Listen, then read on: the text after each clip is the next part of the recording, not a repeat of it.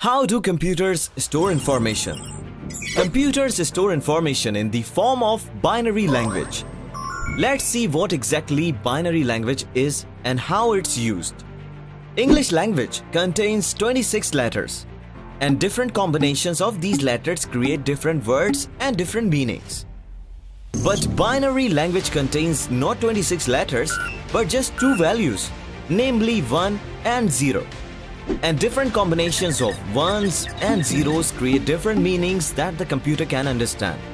As a simple example, if 111 means letter A, 110 means letter N, and 100 means letter D, then the computer will store the English word and in the form of 111, 110, 100. And binary language can store not just words but all kinds of information including pictures, music and movies. For example, 110011 might tell computer to show blue color at a particular place on computer screen when you view a picture on computer and 110101 might tell the computer to emit a particular sound at a particular time from speakers when you listen to a song. Binary language can be written in many different ways on computer hardware.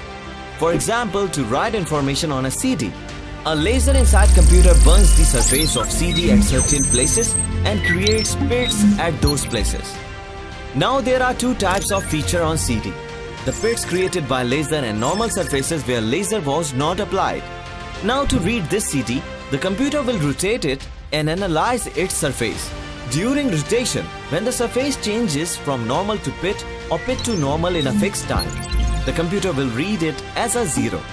And when the surface remains either normal or pitted during that time, then the computer will read it as 1.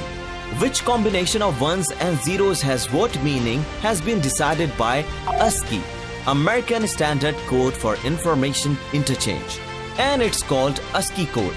All computers that we use in daily life, from smartphones to laptops to desktops to internet servers, as well as storage devices like CDs and pen drives use this binary language to store information and communicate with each other.